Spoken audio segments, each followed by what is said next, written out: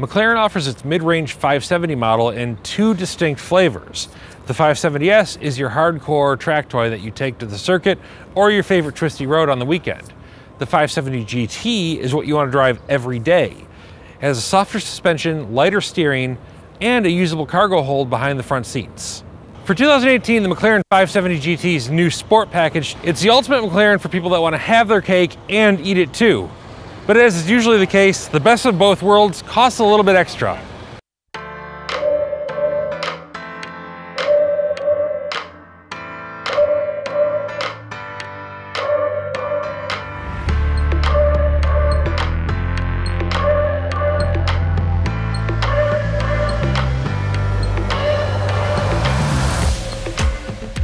The 570 GT suspension starts like 15% softer in front and 10% softer in back compared to the 570S. The steering is 2% slower too.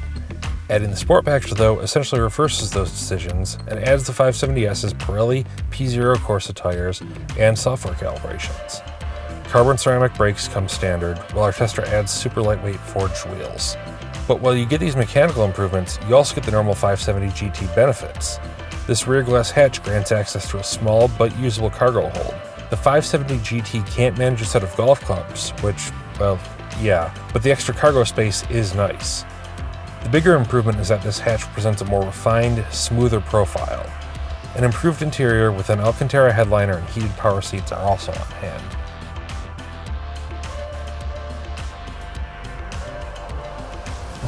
What does all of this mean from behind the wheel? Well, as it turns out, not a whole lot.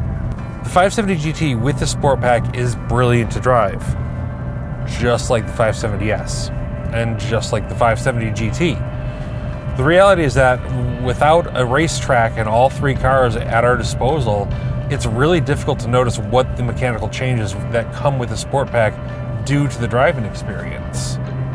The 570 GT with the Sport Pack still has that unflappable McLarenness about it.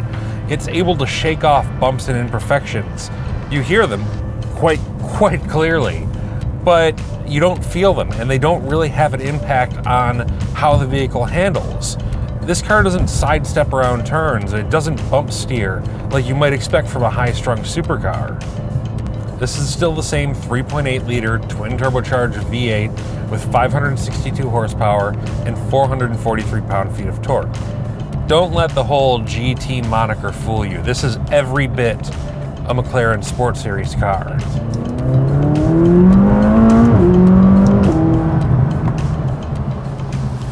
The engine is fantastic, and the transmission is very nearly as good. It's a 7-speed dual-clutch automatic, and while it's a little bit sluggish when you ask it to change multiple gears down, on upshifts it is seamless. It doesn't send shift shock through the car, which is great when you're trying to deploy all of this power. The combination of the engine and transmission is good for what McLaren says is a 204 mile an hour top speed. The 0 60 time is around the mid 3 second range, but it's still fast enough to scare your pants off. You still get all of the 570 GT accoutrements. I have nice, comfortable seats. These are not the hardcore racing seats that you need a European's waistline to fit into.